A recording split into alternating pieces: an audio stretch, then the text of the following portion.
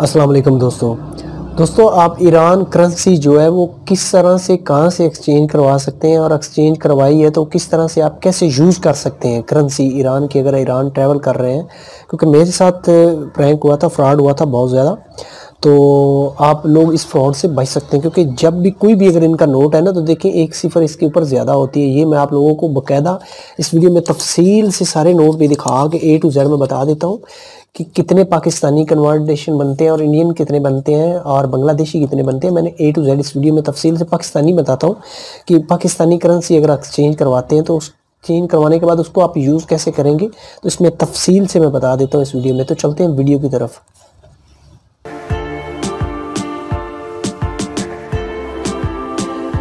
दोस्तों, यहाँ पे मैंने सब नोट रख दिए हैं। एक से पाँच सौ से लेकर दस हज़ार के नोट तक की हालाँकि ये आप लोगों को दस हज़ार नोट नहीं है। ये यहाँ पे इसके ऊपर जो फारसी में भी लिखा हुआ है, ये देख सकते हैं, इकसठ हज़ार रियाल। तो ये रियाल क्या है और तुमान क्या है और ये पाकिस्तानी कैसे बनते हैं, ये मैं आप लोगों को दिखा देता हूँ।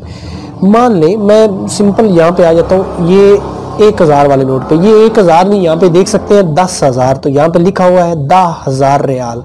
तो दा हज़ार रियाल है नहीं ये। ये कितना है? एक हज़ार। एक सिफर ज़्यादा होती है।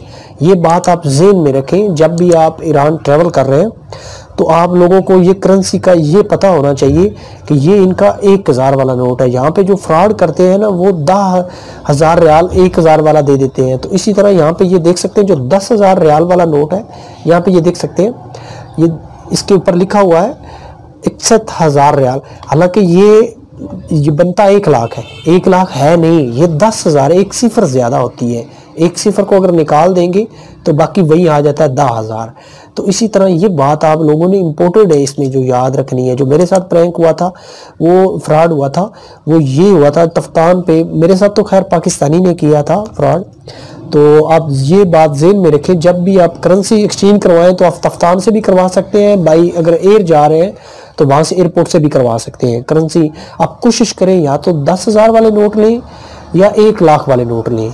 ठीक है? एक लाख वाले नोट लेंगे तो आपको वो ज़्यादा करेंसी रखने का मसला नहीं होगा। तो अगर दस हज़ार वाले लेंगे तो वो दफ्तरियाँ आपको मिलेंगी। वन मिलियन की टू मिलियन की, इस तरह की वो मिल जाएँगी। तो इसलिए आप कोशिश करें एक लाख या पचास हज़ार। और ये देखें, ये इनका पाँच सौ वाला नोट है। ये पाँच सौ वाला नोट है। और लिखा हुआ पाँच हज़ार है। ये